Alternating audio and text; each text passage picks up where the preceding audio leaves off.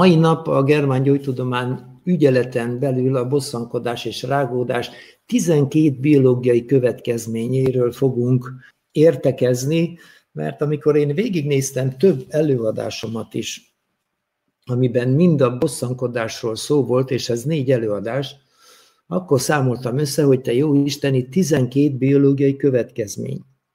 Nyilvánvaló annak függvényében, hogy hogyan éljük meg ezt a bosszankodást, mert a biológiai testünk hajszál pontos választ tud adni mindenre, amit mi közlünk vele. Nyilvánvaló egy biológiai választ ad nekünk arra, amit mi érzelmileg nem tudunk, vagy nem akarunk egyáltalán feloldani.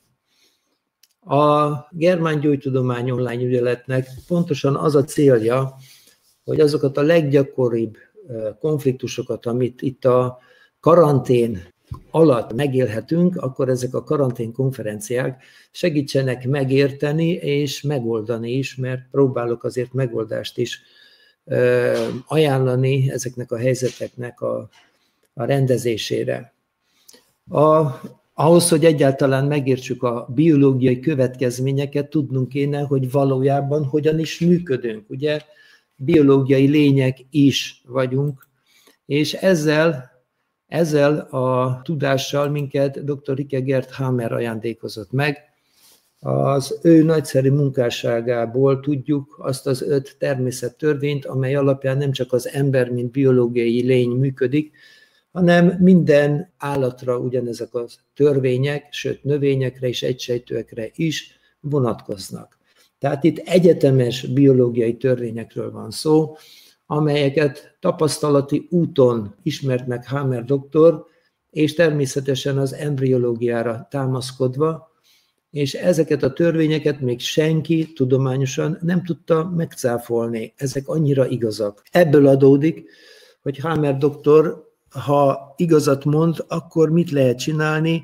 Hát lehetetlenné kell tenni az emberek előtt, és mindenek elmondták, szektagurunak, önjelölt gyógyítónak, sarlatának, sőt, antiszemitának, miért ne, és a lejárató kampánynak megvolt a maga ereje, mert azért Németországban a legjobb tudomásom szerint a germán gyógytudományjal foglalkozni Németországban, ugye, szigorúan tilos, és ha valaki ezzel akar gyógyítani, annak megvonják a finanszírozását. Tehát nem semmiről van szó. És 86-ban Hammer doktornak visszavonják a működési engedélyét, gyakorlatilag a megélhetését teszik kérdésessé, mert nem vonta vissza esküvel a bíróság előtt a felfedezéseit. Hát hogy vonjon vissza egy olyan felfedezést, ami száz százalékban megmagyarázza számunkra azokat a valós okokat, amelyeket eddig nem ismertünk, mert csak olyat hallottunk, hogy rossz indulatú, hogy autoimmun, hogy gyógyíthatatlan, megismeretlen.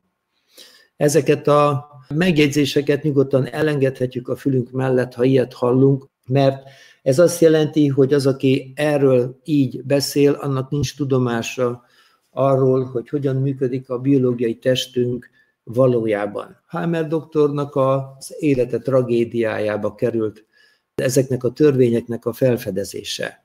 1978-ban történt, december 7-én, hogy a 19 éves fia meghal a karjai között, és rá két hónapra Hammer doktornak heredaganata lesz.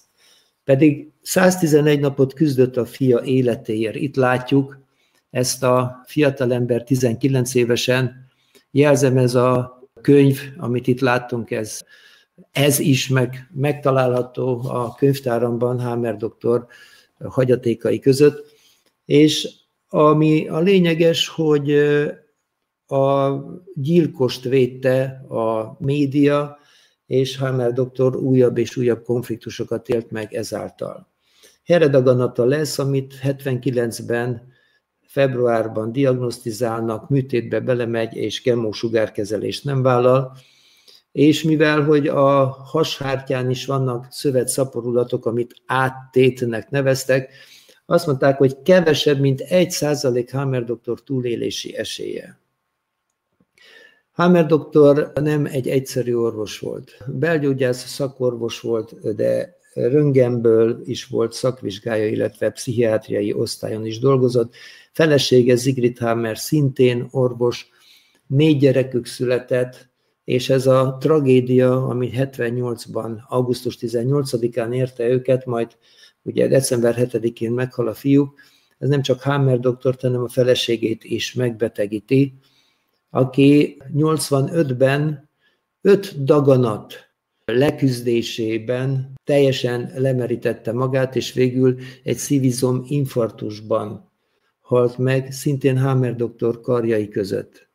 Rá egy évre Hammer doktortól bevonják a működési engedélyt, de ekkorra már felfedezi az első négy természettörvényt, ami teljesen helyére teszi az emberi gondolkodást, mármint az orvosi gondolkodást. Hammer doktor Germán gyógytudomány cím alá azt írta, hogy orvosoknak és betegeknek, akiknek szívük és józan eszük van. Tehát, ha hajlandók vagyunk józanul gondolkodni és őszintének lenni magunkhoz, fel fogjuk fedezni, hogy mindaz, ami itt elhangzik, az a mi életünkben már megtörtént eset. Csak le kellene zárni érzelmileg a dolgainkat. A germán gyógytudományban nem tartoznak bele azok a betegségek, amelyek külső tényezők által keletkeztek. Tehát környezeti hatásra, legyen az sugárzás, mérgezés, baleset, vagy orvosi műhibák következtében, vagy félrekezelések következtében. A hiánybetegségek, az esztelen diéták nem tartoznak ide. Tehát értsük meg, hogy azok fizikai szinten keletkeznek, és azok fizikai szinten is fognak megoldódni. Viszont azok, amik érzelmi szinten indítanak el bennünk egy túlélő programot, azok mind ide tartoznak, és ezek azok a korképek, amelyekre a mai medicinának nincs válasza, pedig láthatjuk a dátumról, hogy 1981 óta az emberiség már tudhatja, hogy mi az, ami elindít egy daganatot a szervezetünkben. Halott fia emlékére Dirk Hammer szindrómának nevezi, azokat a kritériumokat Hammer doktor, amelyek teljesülése esetén elindul egy daganatos betegség a szervezetünkbe, de mint erről kiderült utóbb, nem csak a daganatokra vonatkozik ez, hanem minden betegségre, aminek a hátterében egy lelki megrázkódtatás, egy érzelmi konfliktus van. Egy olyan félelem, amiben benne ragadtunk, ami hirtelen, váratlanul, meglepetésszerűen érkezett, magányosan éltük meg, és benne ragadtunk a konfliktusban. Az, hogy mennyire magányosan élem meg, és mennyi ideig ülök a konfliktusba, ez csak és kizárólag tőlem függő tényező. Éppen itt van a mi lehetőségünk arra, hogy meg se betegedjünk. Ha a mai napunkat is lezárjuk békével, az összes bosszankodásunkat, rágódásunkat, szarul érzem magam, történeteket, ezeket mind lezárnánk békével, megnyugvással, akkor az nagyon-nagyon jó lenne. Ezen próbálok segíteni már március 21 óta minden este. Az, hogy váratlan, meglepetésszerű érzelmi konfliktusok ne legyenek az életünkben, ezt nem tudjuk kivédeni. Mindig mondom, hogy se biztosítás nincs erre, se védőoltás, de az a kérdés, hogy meddig maradok a konfliktusban. Lehetőleg két perc alatt ki lehet lépni belőle, a trükköt el fogom árulni, hogy milyen lépéseket kéne megtenni ehhez, úgyhogy tessenek figyelni. Tehát mindez a lélek, agyszerv szinten fog lezajlani. A lelki megrázkódtatás az agy közvetítésével szervi elváltozást indít el. Mondhatom úgy, hogy a bosszankodás, a rágódás az agy közvetítésével szervi elváltozást indít el. De miről is szól egy bosszankodás? Hát valami nem úgy történt, ahogy én elképzeltem, és az elképzelésem mögött mi van? Mindig egy félelem. Tehát itt van a lényeg, hogy mindig egy félelem van, amihez én kötök gondolatokat, és ezért egy pszichés megrázkódtatásról beszélnénk, ha ez szakmailag fejeznénk ki, de a magyar nyelvben a lelki megrázkódtatás a megfelelője ennek a helyzetnek, holott nem a nagybetűs lélekről van szó, mert annak kérem szépen ilyen problémái nincsenek. Félelem és gondolat összeköttetéséről van szó, és igen, az agy közvetítésével indítja el a szervi elváltozás, ezt ne felejtsük el. Itt mindig lesz az agyi térképen egy lenyomata a fel nem adott lelki megrázkódtatásnak. Amikor fizikai szintű problémáink vannak, annak nincs az agyban hámeri góca lenyomata. Ez hatalmas különbség, kérem szépen. És hogyha nincsen szervi elváltozásom, akkor azt jelenti, hogy azt a bizonyos konfliktust meg se éltem. A konfliktus pillanatában kialakulnak a körülmények, a sínek, és már is szeretném említeni, hogy ha étkezés közben bosszankodunk, akkor az az étel, amit eszem, vagy az a vörösbor, amit éppen megiszok, akkor, amikor felbosszantanak, az akkor akkora sín lesz, hogy utána, ha három év múlva iszom meg ugyanazt a bort, akkor megint görcsbe rándul a gyomrom, kiegyenesedik a belem, csak éppen nem fér el, és gyorsított eljárással futok a WC-re. Tehát egyezzünk meg abba, hogy amikor leeszünk, legalább akkor ne bosszankodjunk, vagy ha felhúztak minket, és még nem nyugodtunk le, akkor ne együnk. Idegességében az ember ne egyen, ne igyon, először nyugodjon le, mert akkor nem lennének étel allergiánk, nem lenne glutén intolerancia, nem lenne laktóz intolerancia, és semmilyen étel allergia nem lenne, ha be tudnánk tartani azt, hogy az asztalnál nem bosszantjuk egymást, nem az asztalnál kérdezzük meg a gyerektől, hogy hányast kapott, nem az asztalnál borul ki az asszony, hogy elfogyott a konyhapénz, és nem az asztalnál jelenti be az ember, hogy kirúgtak a munkahelyről. Tehát amikor leülünk a fehér abrosszal borított asztalra, akkor hálát adunk azért, hogy van mit tennünk, hálát adunk azért, hogy együtt vagyunk, és ennek fényében, ebben az örömben fogyasszuk el azt, ami éppen van. Ennél jobb és olcsóbb és eredményesebb gyógyszert nem tudok receptre felírni ahhoz, hogy ne legyenek étel allergiáink. Remélem, hogy az éter allergiáról szóló kérdésekre már is megfeleltem mindenkinek. Nos, Ebből következik, hogy nem az a megoldás, hogy kerülöm azokat az ételeket, amit nem bírok megenni, hanem emlékeztetem magam, hogy mióta vagyok én allergiás a tejre. Jaj, három éve. És akkor három évvel ezelőtt, gondolom senki nem vezet naplót arról, hogy melyik nap hány feloldatlan konfliktusa van, ugye? Jó, akkor három évvel ezelőtt ki volt az az ember, akivel legtöbbet bosszankodtam? Hát éppen lehetséges, hogy az exem. És akkor mi a megoldás ahhoz, hogy eltűnjön a laktóz intolerancia? Kérdezte tőlem az EGRI tanfolyamon Janka. Ott van három percben a riport, meg lehet nézni. Azt mondtam neki, hogy köszönd meg a barátodnak, hogy annyit bosszantott téged. Mert szerintem te már nem az a nő vagy, aki voltál három évvel ezelőtt. Hát mondja, hát nem, tényleg nem. Hát mondom, akkor menj fel szépen a szállodai szobába, mert ugye ez tanfolyamnak az estéjén volt előadás után, és írj neki egy levelet, és minden bosszantást köszönjél meg neki, és fejtsd ki, hogy te ebből mit tanultál már, mint nem az, hogy többet szóban nem állok veled, hanem azt, hogy mit segített neked abban, hogy tudatosabban éljél, hogy megértőbb legyél, hogy jobban tudjál elfogadni olyan dolgokat, amelyek nem úgy történtek, ahogy te elképzelted. Megírta a történetet, a levelet, másnap reggel találkozunk a szálloda reggelizőjébe, és ott volt a kedvencem a tejbepapé, fahéjjal, kakóval lehetett válogatni, és szólok neki, hogy na mi történt? Azt mondja, megírtam a levelet, itt van, elolvasod? Mondom, én nem olvasom el, Elküldjem? Hát ha akarod, elküldheted, döntsd el, hogy mit fogsz vele csinálni. De milyen, mit éltél át, míg megírtad a levelet? És elmondja, hogy hát sírtam. Hát mondom, jó, és magadat sajnáltad, vagy mit? Hát rájöttem, hogy pont, pont, pont. Nyilván mindent nem mondhatok el. A lényeg az, hogy a beszélgetésből kiderült, hogy érzelmileg ezt az egészet ő helyére tette. Mondtam, Janka, akkor gyere, együnk egy kis tejbegriszt nézett rám nagy szemekkel, mondom, nem lesz semmi bajod, nyugodj meg, megette a tejbegriszt, hihetetlen, semmi baja nem volt. Aznap egész nap tejet semmi baja nem volt.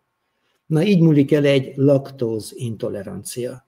De van történetem arról, hogy 12 éves kislánynak a glutén intoleranciája hogyan múlt el. Egy megerősítő mondatnak a hatására. Tehát a kezelés a germán gyógytudományban. Van erről két webkonferencia anyag. Van a gyógyszeres kezelésről, meg egyébként mellette a józan észel történő kezelés a germán gyógytudományban. Hammer doktor is megmondta, nem tud olyan receptet adni, ami minden betegre ráhúzható. Hát itt azért a terapeutának kell legyen némi tapasztalata már a medicinában, és hát Egyébként meg a terápia nem arról szól, hogy kerüljük a sineket. Nyilvánvaló annyira lehet valakin segíteni, amennyire hajlandó ő valamit változtatni. Mert ha továbbra is gyűlölni akarja az anyósát, akkor nem marad más, mint hogy húz egy 20 méteres betonkerítést, ha az anyós a szomszédban lakik. Csak hogy ettől még az anyós nincs megoldva, az optikai sínről ugyan lekerült, de a bosszankodása még mindig ott van és egy bosszankodó ember mással is bosszankodni fog, tehát teljesen mindegy, hogy az epikrízise az anyósától lesz, vagy éppen a főnökétől. A megoldásnak lépcsőfokai vannak, hogy hogyan állok én hozzá ehhez a történethez, amit majd itt bekövetkezik. Hajlandó vagyok-e felülvizsgálni ezt az egészet, és leállítani a 12 biológiai következményt, vagy továbbra is inkább bosszankodok. Kérem szépen, én csak javaslatot tudok tenni. Aki konzultációt kér, annak javas lapot írok. Nem receptet, javas lapot. És azon azok a javaslataim vannak rajta, amelyek egy óra után megszületnek az adott ember történetéhez igazítva, hogy mit kellene neki tennie, hogy megváltozzon mindaz, amit ő tudatlanságból elindított. Tehát a germán gyógytudomány ismerete fényt hoz az életünkben, mert rájövünk, hogy nincs gyógyíthatatlan betegség, csak gyógyíthatatlan beteg. Mert a betegség a beteg nélkül nem gyógyítható.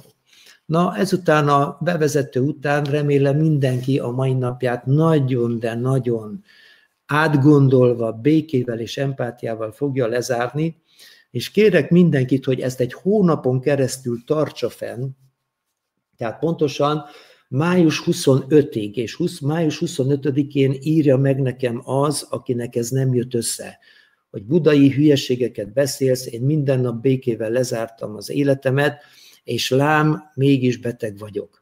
Hát biztos, hogy lesznek még olyan történetek, amelyek régebbiek, és még nem fut ki a program, de hogy újakat nem indítunk el mellette, az biztos. És ha hallgatjuk a MyStudenten Mékhent, akkor a régi programjainkat is le tudjuk zárni. Nos, a második természettörvény az már grafikusan ábrázolja számunkra, Hammer iránytű, hogy mi történik valójában biológiai szinten. Ugye lélek, agy, szerv szintről beszélek. Lelki szinten megértem a rágódást, vagy megértem a bosszankodást, és aki rágódik és bosszankodik, az nyugodt ember. Hát nem. Hát teli van idegjel, felmegy a vérnyomása, vörös lesz a feje, magas lesz a púzusa, még le is izzadt tőle, hideg a keze, hideg a lába, esetleg még dühöng is, ha konstellált állapotban van, akkor miért ne dühöngene? A lényeg az, hogy meddig nem oldom én ezt föl. Napokig, hetekig, hónapokig? Mennyire válik szokásommá, hogy mindenen bosszankodok vagy rágódom. A biológia elárulja a tünetekből, mindenki magára fog ismerni. A lényeg az, hogyha megoldjuk a konfliktust, hát akkor jönnek a kellemetlenségek, kérem szépen. Jönnek a kellemetlenségek, azért nem részletezem, mert más és más lesz a tünet a rágódásnál, és más a bosszankodásnál. Ugye a rágódásnál a konfliktus aktív szakaszban nincs tünet, de van a megoldásban. A bosszankodásnál van tünet a konfliktus aktív szakaszban, de nincsen a megoldásban, csak hatalmas görcs az epileptoid krízisben, és esetleg vérzés. Úgyhogy itt nem részletezem tovább a dolgot, most erre a két dologra koncentrálunk, és akkor azt is megértjük, hogy az epileptoid krízisnek a tünetei annál súlyosabbak lesznek, minél nagyobb a konfliktus tömeg. Utána rendeződik minden, jön egy kis fáradtságérzés, levertségérzés, már a hangulatom jó, már enni is tudok, de nem merek, mert azelőtt hánytam. A hányinger előtt az ember úgyse tud enni. A hányiger után, ha megjön az éjség érzete, akkor nyugodtan a sóba főtt krumplit megeheti, mert kell valami a kihúrolt gyomrába és belébe. Attól már ne tessenek megijedni. És azt a vegetáriánus, a vegán és meg a húsevő is nyugodtan megeheti. Sóba főtt krumpli. Szóval a programnak itt vége. Két tempóban, tehát van egy konfliktus aktív, van egy megoldást követő szakasz, és ennek három része, exudatív, epileptoid krízis és a hegesedési fázis. Hammer doktor a harmadik természettörvényben leásott egészen az embriológiáig, pontosan azért, hogy megtudja, hogy miért úgy működünk, ahogy működünk.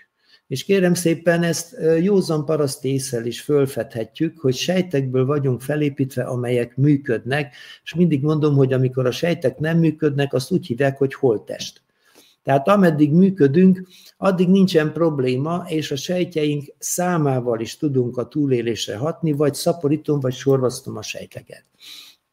És akkor most, ha rágódok én valamin, mert nem tudom lezárni békével a napomat, mert volt olyan, hogy valaki hazavitt egy rossz jegyet, és akkor az apja azt mondta, na vár csak, majd holnap megbeszéljük. És akkor lehet, hogy az apa egy egész napon át ezen rágódott, vagy csak éppen hát félelemben akarta tartani szerencsétlen gyermeket. Ez ez őrület a gyerekekkel így bánni, amúgy. Az is teli van szorongással, hogy mi lesz vele, és akkor még hadd szorongjon még 24 órát, hogy majd holnap vajon én milyen kedvel jövök haza. Szóval vannak olyan dolgok, amin rágódunk, hogy mondjuk egy másik ember hogy tudott ilyet csinálni. Hát kihúztam a kakiból, hát felöltöztettem, hát enni adtam neki, hát megtámogattam, hogy munkahelye legyen, hogy lakása legyen, és akkor átver engem, mint azt a bizonyost a palánkon. Hát hogy lehet ilyet csinálni? Na most ezen, ha én rágódom, rágódom, rágódom, a biológiám gyomorsavat fog adni, hogy tudja megemészteni azt, amin én rágódom. A gyomorsav a gyomor nagy görbületi nyálkahártyájának a felszaborodásával fog megtörténni a gyomorsav túltermelés, mert úgy alapból ő termel eleget, de hát hogyha én rágódom, akkor még több és még több és még több sav kell. Természetesen meg fogom csinálni a nagy görbületen a gyomor daganatot, ami egy növekmény, mert itt sejtet szaporítok. Aztán a megoldásban jön a lebontás természetesen, és hát a lebontásban vajon kik segítenek nekem, már is mondom, bár az a negyedik törvényhez tartozik, de ott már csak utalni fogok rá, hát az a drága helikobakter pylori, amit nagy hősiesen hármas antibiotikum kombinációval próbálnak kiírtani az ember gyomrából. Ébredjünk már fel.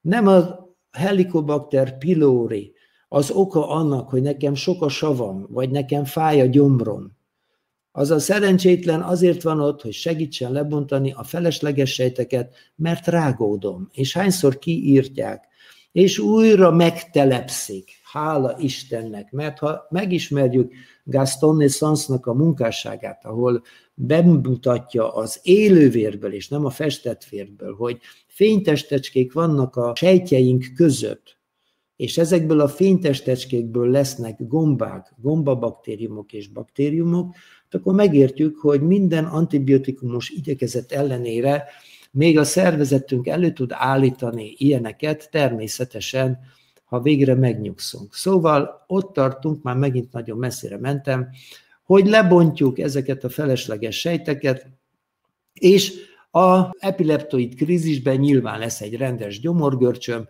és a hegesedési fázisban helyreáll az egyensúly. Tehát ez csupán a rágódás, és nem beszéltem gyomorfájásról csak az epileptoid krízisben.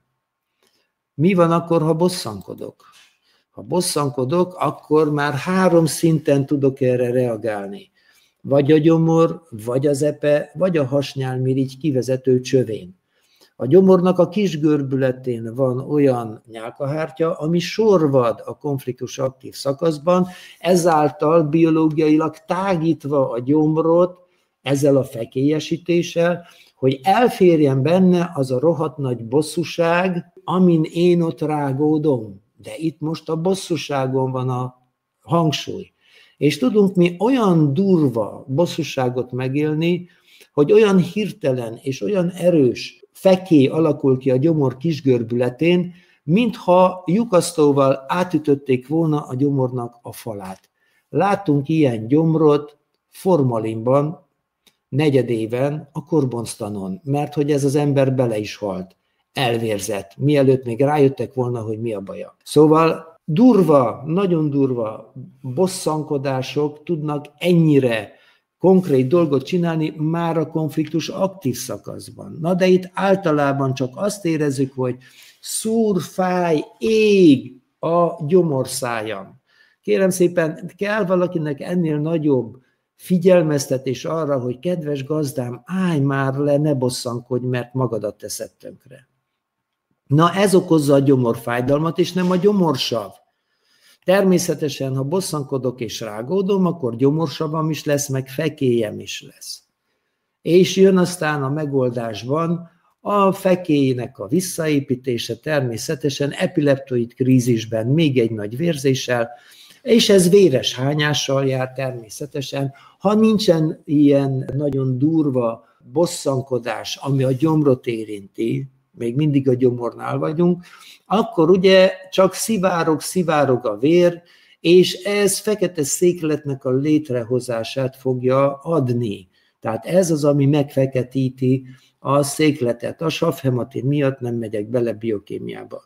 A lényeg az, hogy tudjuk, ha szurok fekete székletem van, akkor bizony van egy tápcsatornai vérzés, jó lesz leállni.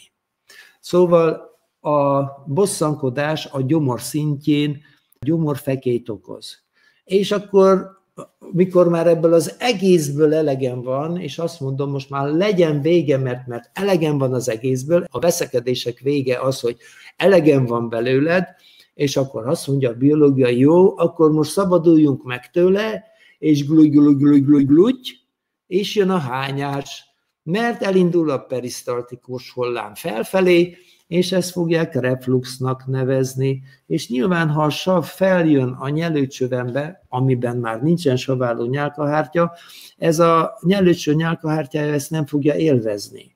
És megtörténik ennek a nyálkahártyának az átalakulása, és akkor mindenféle ijesztő diagnózissal fognak minket ellátni és még mindig ott vagyunk, hogy nem a sav csökkentő gyógyszer adagján kellene változtatni, hanem magán a rágódáson és a bosszankodáson. Nos, hogy jutott el Halmer doktor ide? Mint mondtam, leásott az embriológiába. Tudjuk, hogy három csira lemezből épül ki minden, minden egyes sejtünk, épp úgy, mint az elültetett magból a növénynek gyökere, szára, levele, virága, és csak egy elültetett magról beszélek, vagy mint ahogy a tojásból kikeil a csirkének minden része, ugye, ugyanígy a megtermékenyített petesejtből elindul a sejtosztódás, szedercsira állapot, majd jön a három csiralemez, és látjuk a nyilaknak megfelelően, nagyon didaktikusan, nagyon egyszerűen Hammer doktor által ábrázolva, hogy a három csiralemez milyen sejteket ad a testünk számára.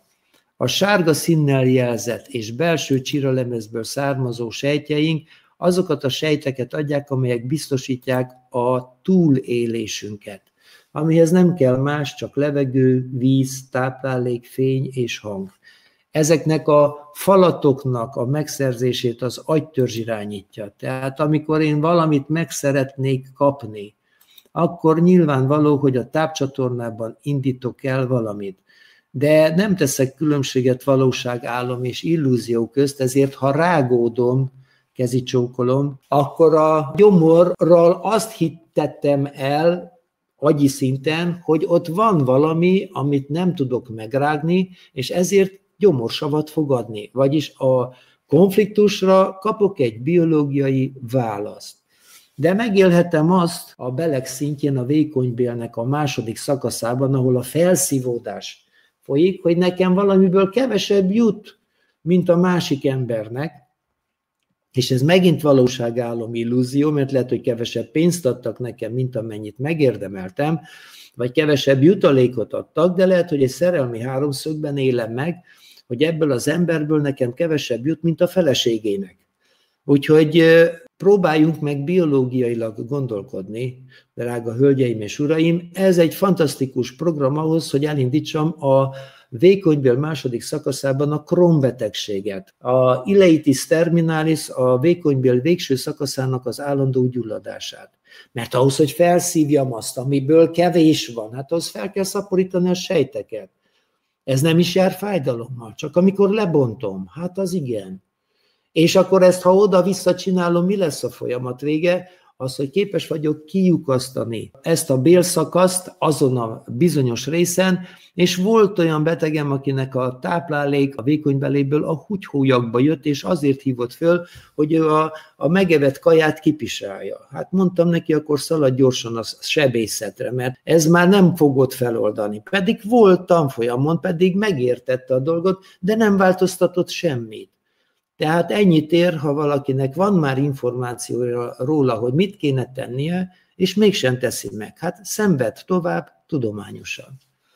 A kisagynak a feladata a vélt vagy valós támadások megoldása és az aggódásra adott biológiai válasz, aminek szerviz szintje az írha, melhártya, hashártya, szívburok lesz, illetve a melnek a tejtermelő mirigyei, nem részletezem. Az önleértékelés az önpusztítást jelent, és a nagyagynak a kéreg alatti, vagyis fehér állományába vagy agyvelőbe csapódik. Itt látjuk mellette a koponyalappal párhuzamosan készített eh, Hameri rajzot, tehát hogyha itt húzok egy vonalat a koponya alappal párhuzamosan, akkor ez, ezt a képet fogom ott látni. Ezen a képen az egész testünk képviselve van, ugyanis az önleértékelés, önpusztítás sejtszinten és a mozgással kapcsolatos sejtjeinket érinti, ezért van itt a csontváz berakva a baba megjelenítésekor. A csontlősz a legsúlyosabb önleértékelésnek a szervi szintje, ennél gyengébb önleértékelés fogja bontani a porcokat, az inakat, a még gyengébb az ereket, illetve ha mozgáshoz kötődő önleértékelésről van szó, akkor a haláncsikolt izmot fogom sorvasztani konfliktus aktív szakaszban, és ide tartozik még a kötőszövet, melynek része a zsírszövet is, amit a legenyhébb önleértékeléssel sorvasztok, majd építek vissza. Külön webkonferencia foglalkozik ezzel is. Az elválasztási konfliktus az ugye már téma volt, és beszéltünk, hogy nagyon szeretném, vagy nagyon nem szeretném, hogy hozzám érjenek, hogy megérintsenek, vagy nem szeretném, hogy elmenjenek tőlem. Hát ez tud egy újabb meldaganatot okozni, de ez már a tejcsatornákat érinti, mert azoknak a bélése az ektodermális, vagyis külső csíralemezből származó nyálkahártya sejtek. A külső bőrön is tudunk egy csomó mindent megtapasztalni, és az elválasztási konfliktusokon kívül az agykéreg irányítja a birtok konfliktusokat, és itt látjuk ezt a rajzot, amire még visszatérünk, mert ez nagyon jól kifejez sok mindent. De tegnap is elmondtam, hogy itt a felső részen van az embernek a homloka, most mintha felülről néznénk valakinek a fejére, ezt úgy tessenek nézni.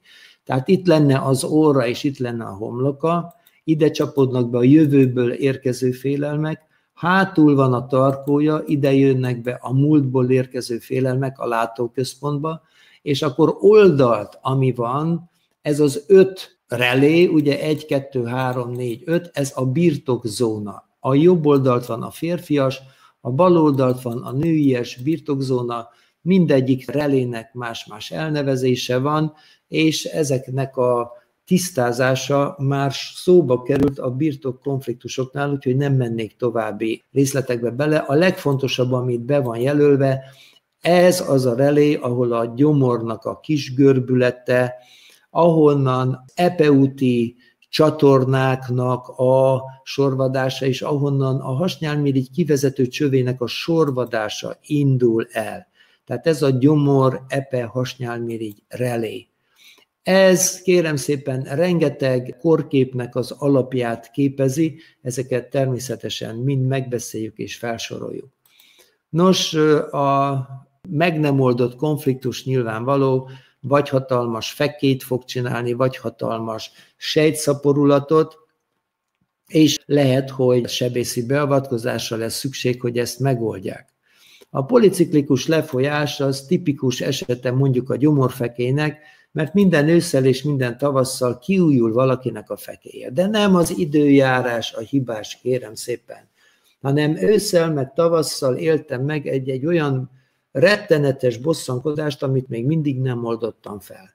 Tehát nem azt kell nézni, hogy hideg front vagy meleg front érkezik, vagy a második ukrán front, hanem arról van szó, hogy milyen konfliktust nem oldottam fel én az adott időszakban. Úgyhogy nem az éghajlatokra kéne haragudni, hanem befelé tekinteni, nem kintről kéne várni a megoldást, hanem bent kéne legbelül rendet tenni, mert ha magamban rendet teszek, ez fog megnyilvánulni a környezetemben is. Tehát megértettük, hogy a policiklikus lefolyásnál mindig végig megy a program, és újra kezdődik. Ez így nem unalmas, mert hol beteg vagyok, hol nem.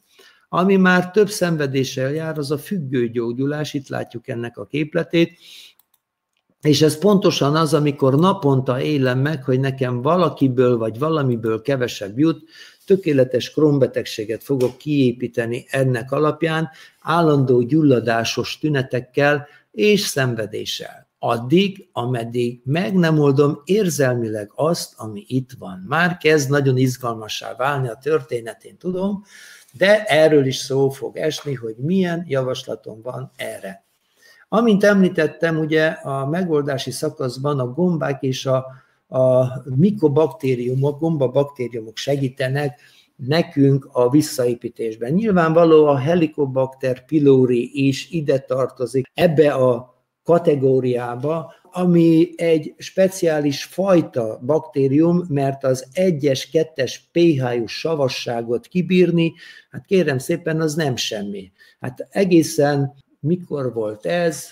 Hát úgy körülbelül 15-20 éve jött a nagy felfedezés, hogy lám baktériumot mutattak ki a gyomorsavba. Mi még úgy tanultuk, hogy azt, ami oda bemegy, ott minden steril lesz, mert a sav az mindent elpusztít, illetve amit a sav nem pusztít el, azt majd elpusztítja a lúg, ami már a patkóbélbe e, várja azt, ami a gyomorból oda átkerül. Na kérem, kiderült, hogy van benne baktérium, és ez csak azért van ott, hogy segítsen nekünk megoldani a feleslegesé vált sejteket. A baktériumok és a vírusok a visszaépítésben segítenek. És ne feledjük el, hogy akinek krónikus hepatitisze van, az azért van, mert az ő bosszankodása speciálman, ez olyan bosszankodás, ami mindig a biológiája egy zsíros falatra fogja lefordítani, és nyilvánvaló a zsíros falathoz kell az epe. Viszont, hogy elegendő epéhez jussunk, konfliktus aktív szakaszban tágítjuk az epe kivezető csatornát, ott is megjelenik a fájdalom, és érezzük, hogy szurkál az epém, nem tulajdonítunk nagy jelentőséget ennek, esetleg beveszünk egy kolagolt. Hát nem, pont a kolagol hiánya okozta nekünk ezt a szurkálást. Kiderül, hogy mégsem. Szóval abba kéne hagyni a bosszankodást, és nem volna szurkálás. Viszont a megoldási szakaszban eltűnik a szurkálás, de az epileptoid krízisben jön az epegörcs, és hogyha ezt függő gyógyulásba csinálom, tehát hogyha most visszalapozok, ha ebben a folyamatban én folyamatosan bosszankodok, illetve valakivel volt egy bosszúságom, de nem oldottam fel, és minden nap vagy két naponta sínre kerülök, akkor azt jelenti, hogy rengeteg hepatitis vírus fog ott segítkezni, hogy fejezzük már be, kedves gazdám, ezt a munkát. Hát ez egy olyan dolog, mint a bukaresti palotának az építése volt Ceausescu idején. Felépítettek néhány emeletet, kiment a főnök, lebontatta. Aztán megint hozzáfogtak. Na szóval a főnök meghalt, a palotát befejezték. Itt jó lenne nem a temetőbe befejez az epehólyag visszaépítését, mert ott már nem fogjuk, jó lenne leállni a bosszankodással, és meggyógyulna a hepatitis. Te jó Isten! És mi mindent kitaláltak már rá, már oltás is van. Szóval bosszankodáson még oltást nem találtak fel, de úgy egyébként az oltás az egy hatalmas biznisz. És ugyanez a folyamat játszódik le akkor is, amikor valakinek kialakul a gyomor nyálkahártya sorvadása és savhiánya alakul ki, mert ez a folyamat savhiányhoz vezet, de erről már a tegnapi nap is beszéltem. Remélem, hogy ezek után mindenki számára a négy természettörvény már teljesen érthető, és nézzük meg, hogy 87-et írunk. Hammer doktortól, mint mondtam, 86-ban elveszik a praktizálás jogát, mert nem tagadja meg esküvel azt, amit ő fölfedezett. 85-ben a felesége is meghal a karjai között.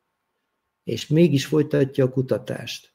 Szóval valami fantasztikus emberről van szó, nem győzöm az ő emberi nagyságát kiemelni, és azt a logikát, amit beépített a germán gyógytudomány megismerésébe. Ha ezt a gondolkodást követjük, akkor ezzel a gondolkodással fogjuk megfejteni azokat a dolgokat is, amit azóta fedezett fel nekünk a medicina.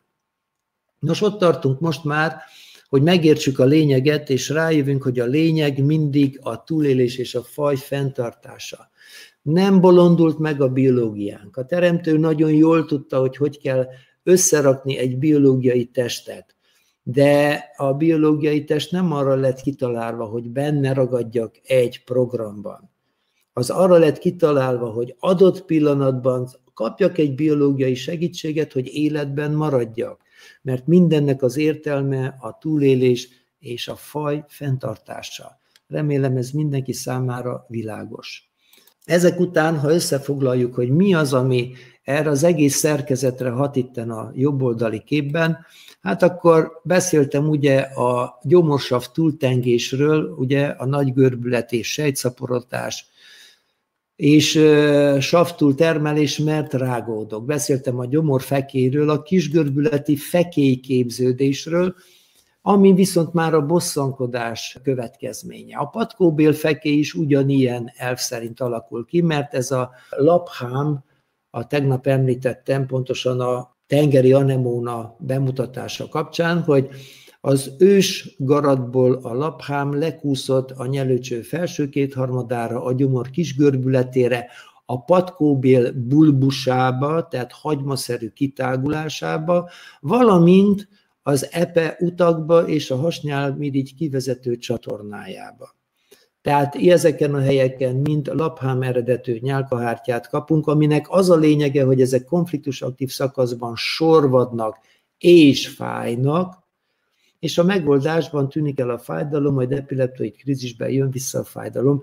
A fájdalomról van egy külön webkonferencia, és ott minden olyan nyálkahártyát felsorolok, ami az ős száj séma szerint működik, és ami mindig konfliktus aktív szakaszban figyelmeztet minket, hogy kedves gazdám, állj le.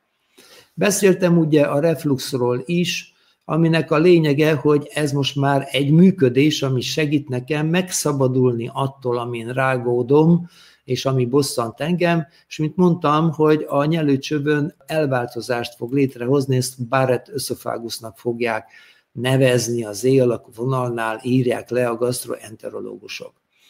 És akkor vannak itt olyan dolgok, a, még megyünk egy kicsit lejjebb, aztán jönnek a konstellált állapotok, hogy bulimia meg anorexia. Nézzük egyszer a krónikus epebántalmakat, mert ugye a máj, epe és hasnyálmirigyről van egy teljesen külön webkonferencia. A nyelőcső és gyomorról külön webkonferencia, vékonybél, vastagbél külön webkonferencia, és hát a többi az konstellált állapotokról pedig a birtokkonfliktusoknál is szó van, meg a gyomornál is. Szóval volna mit átnézni, de csak utalni tudok bizonyos dolgokra, számítva arra, hogy sokan ismerik ezeket a programokat, illetve aki nem ismeri, az feljegyezi magának ezeket az eladásokat, és utólag még elrágódik rajta, de nem konfliktussal, hanem érdeklődéssel, és innentől ez nem lesz egy biológiai program. A pedig nem érti meg, akkor nem bosszankodik, hanem újra megnézi.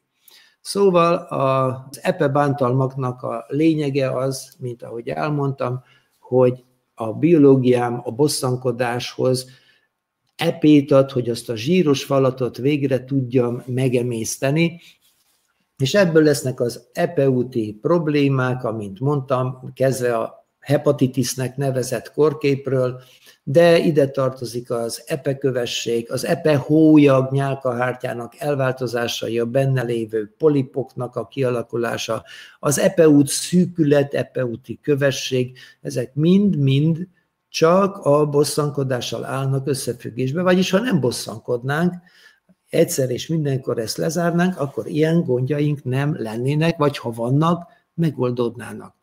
A hasnyálmirigy betegségek azok már az anyagi jellegű dolgokról szólnak. Tehát ott már mindig valami, a bosszankodásnak a tárgya a pénz, a vagyon, a jús, a jutalék, mert én nekem azt a pénzt, amit ideigértek, nem adták meg.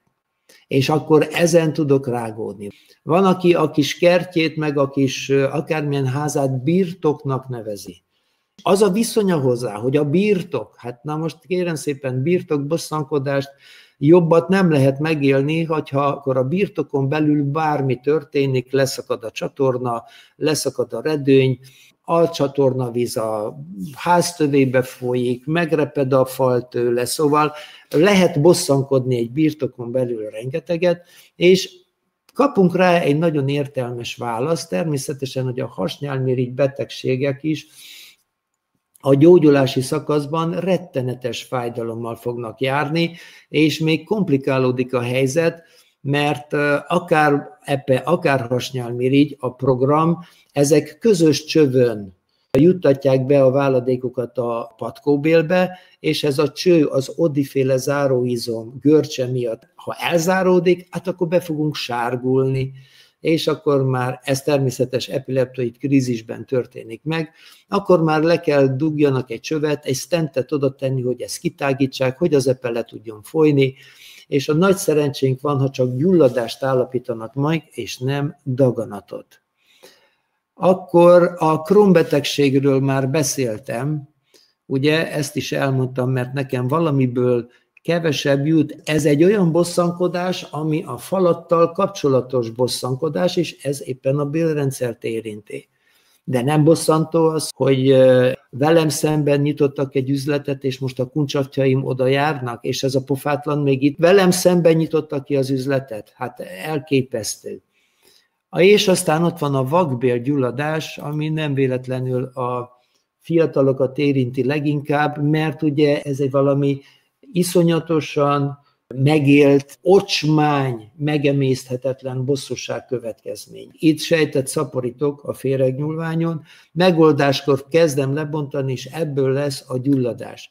Persze vakbél rákot is lehet csinálni, amikor minden bosszúságot ocsmányként élek meg, és akkor építés, bontás újraindításával hát egész szép elváltozásokat tudunk ott csinálni, és természetesen a hasártya segítségre jön, hogy a gyulladást lokalizálja, körbefogja, és bonyolíthatjuk a helyzetünket nagyon. De még mindig a bosszankodásról beszélek. És hogy lássuk, hogy hogy tudjuk a képet még színesebbé tenni, akkor van olyan, hogy valaki telizabálja magát, aztán kihányja magát, ez lesz a bulimia, az anorexiás meg mindig azt hiszi, hogy ő igencsak, igencsak kövér, és grammokat kimér, hogy mit teszik és mit nem. Hát ez már azért komoly viselkedésváltozást jelent, és amint látjuk, mind a kettőben a fő ludas a bosszankodás. Amikor a bosszankodáshoz társul egy undorfélelmi konfliktus, aminek a reléjét mutatom itten, ugye baloldalt van az undorfélelem becsapódási helye, ennek következménye, hogy zuhan a vércukor, akkor az éjségérzet miatt telezabálja magát valaki, viszont a bosszankodása miatti gyomra ezt nem tudja befogadni, és rögtön ki is hánya. És megint zabál, és megint hány, és megint zabál, és megint hány. Na ez lesz a bulimiásoknak a programja. A jobbkezes hölgynek a maga az undorfélelem lesz az, ami ezt elindítja, mert kinyitja a szobát, a klasszikus példa, és ott találja a férjét, egy másik pasassal fajtalankodni a hálószobába, hát ettől meg is undorodik, meg meg is ijed, és innentől kezdve minden délelőtt 10 órakor, amikor a férjére gondol, hogy most vajon mit csinál, hát akkor gyorsan ennie kell, mert nagyon éhes lesz. Tehát azok az emberek, akiket hirtelen kap el éjségérzet, azoknak megoldatlan undorfélelem, vagy ellenszegülési konfliktusa van. Itt szóba jön az, hogy férfi vagy nő, és jobbkezes vagy balkezes, nem szeretném most tovább részletezni. Térjünk vissza a bosszankodáshoz, és akkor azt látjuk itt vele szemben, éppenséggel az identitás konfliktusnak van a reléje, vagyis amikor nem tudom eldönteni, hogy kinek a véleményére hallgassak. Nem tudok döntést hozni. A döntésképtelenséget, a tanácstalanságot a biológiám nem viseli, mert ez nem biztosítja a túlélést, és segít kijelölni a területem közepét, vajon mivel, hát széklettel, és ezért fog tágulni a végbélnek a nyálkahártyája. Az identitás konfliktusról még rengeteget lehetne beszélni, mondjuk egy kismamának, aki szült, az aranyere nem attól lett, mert szülésnek a következménye, hanem a szülés következtében megváltozott szerep következménye, amikor nem tudja eldönteni, hogy kinek a tanácsaira hallgasson, kivel foglalkozzon inkább, nem akarom részletezni. A lényeg, hogy amikor van egy identitás konfliktus is, és van egy birtokbosszankodás, ez lesz az agresszív konstelláció, ami azt jelenti, hogy itt már a mérleg eldönti, hogy agresszív lesz a viselkedésem, vagyis mániás, vagy depresszív. Amikor a baloldali női birtokzónában levő konfliktus kerül sínre, ami, mint mondtam, lehet maga a bosszankodás is, ha balkezes férfiról beszélek, akkor természetesen a női oldal lezár, a férfias birtokzóna viselkedése lesz az irányadó, és ebből lesznek a dűrohamok. Fordított esetben is dühös lesz az illető, amikor a jobboldali relé kerül sínra, de akkor önmaga ellen fordul az illető. Nem öngyilkos lesz, nem, csak esetleg tépni fogja a haját, összevágdossa a karját, és ilyen őrült viselkedésbe megy át. Igen, az ilyen embereknek tényleg azt szoktuk mondani, hogy elszállt az agya. Természetesen biológiai értelme van az agresszív konstellációnak, ezért bioagresszív konstellációnak nevezi Hammer doktor, hiszen ha mostan arra gondolunk, hogy egy szuka kutya szoptatja a nyolc kiskutyáját, és a közelébe megy egy német juhász. A szuka kutya csak egyet mordul. A juhász kutya úgy elhúz onnan, mintha ott se lett volna. Ha ezt nem teszi a következő pillanatban, széttépi a nyakát a kutyamama, és akkora erővel tud rátörni, ami ellen ő nem tud mit tenni. Ugyanezt a bioagresszív konstellációt éli meg az az anya, akitől el akarják venni a hatóságok a gyerekeit. És akkora erővel tör a rendőrökre és mindenkire, hogy utána már van még egy fekete pontja a hatóságokkal szembeni erőszak elkövetése. Tehát ez egy önvédelmi stratégia, természetesen a biológiában ennek értelme van, csak hogy nem tudjuk megérteni az ilyen embereket. Amikor megismerem egy másik embernek, hogy mi a nyomógombja, és az mindig vagy identitás, vagy bosszankodás, akkor már tudom, hogy mivel kell foglalkozni. Ezek a konfliktusok bármikor megoldhatók. Itt nem lesz az, hogy kilenc hónap múlva leáll a szívem, vagy tüdőembóliát kapok, ezek nem azok a konfliktusok. A anorexia, amint látjuk, arról szól, hogy megvan stabilan ez a relé, és a másik oldalon vagy egy fel nem oldott rémületfélelem, vagy egy szexuális konfliktus, vagy egy identitás konfliktus, vagy egy területkerülési konfliktus. Nyilvánvaló a képet színezi, hogy a bosszankodáshoz éppenséggel a négyből mely konfliktus csatlakozik. Az agresszív viselkedésről már beszéltem, De ha fel nem oldott szexuális konfliktus és bosszankodás van, az ilyen hölgyeknek folyamatosan minden menstruációk rettenetes görcsel, fájdalommal jár, az ilyen kislányok menstruáció miatt még iskolába se tudnak elmenni.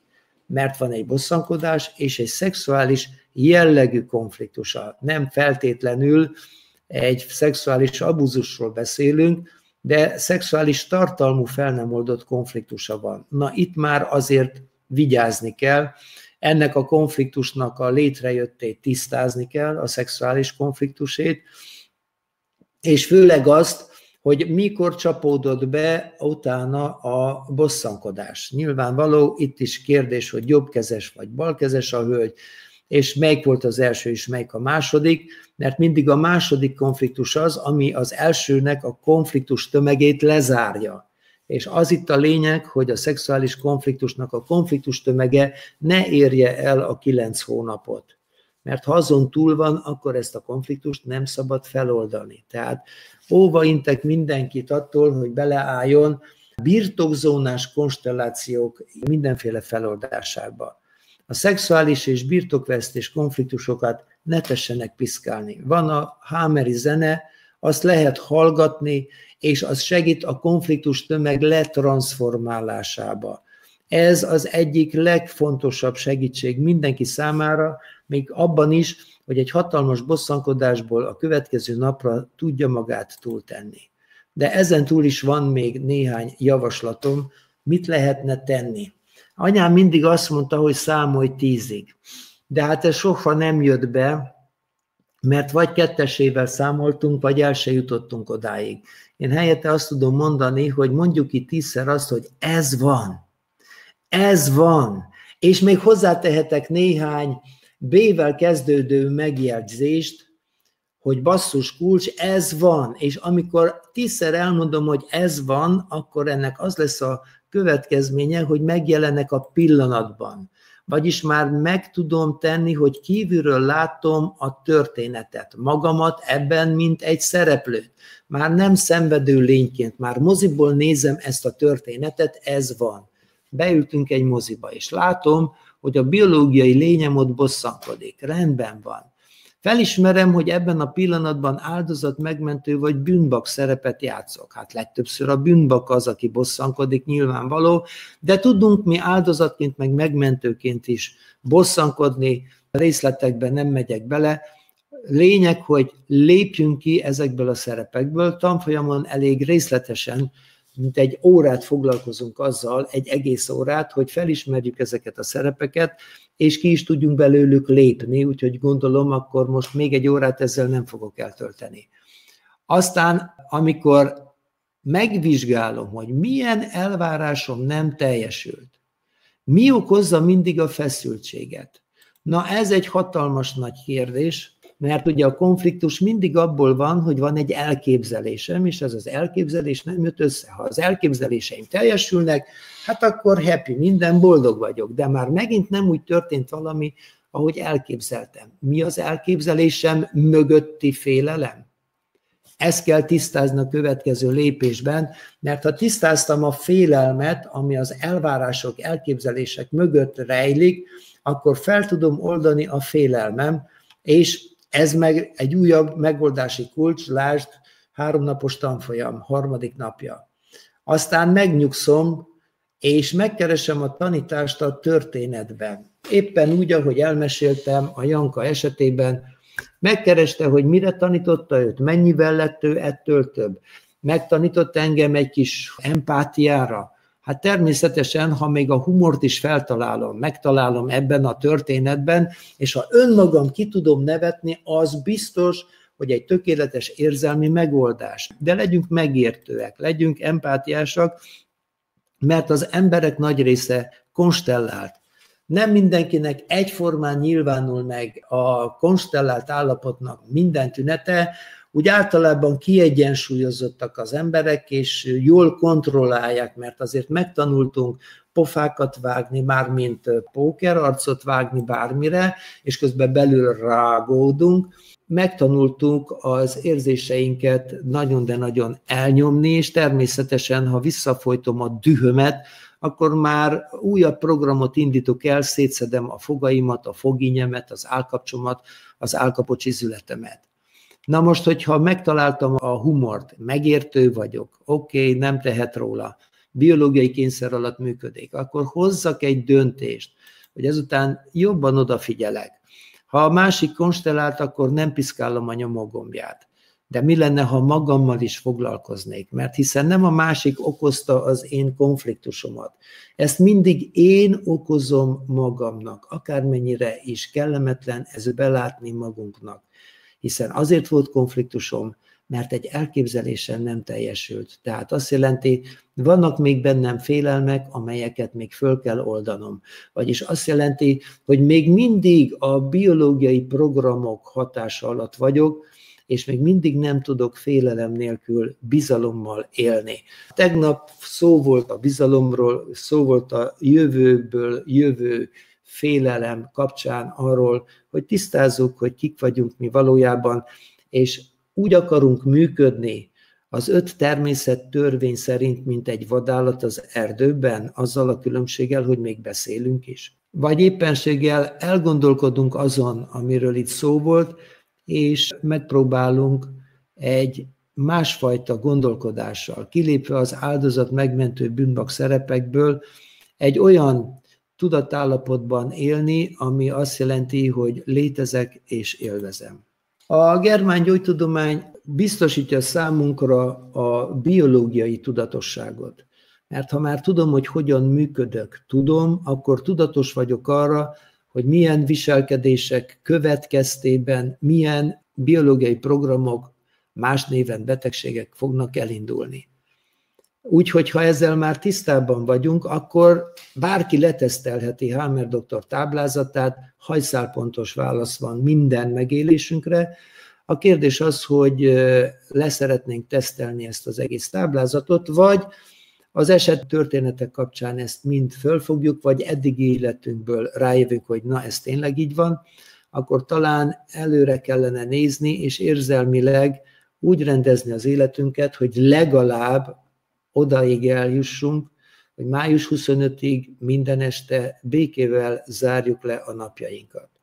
Akinek kétsége van afelől, hogy a germán gyógytudomány nem tudomány, legyen szíves bebizonyítani, és három Nobel-díjat fog kapni egyszerre, mert még ez senkinek nem sikerült.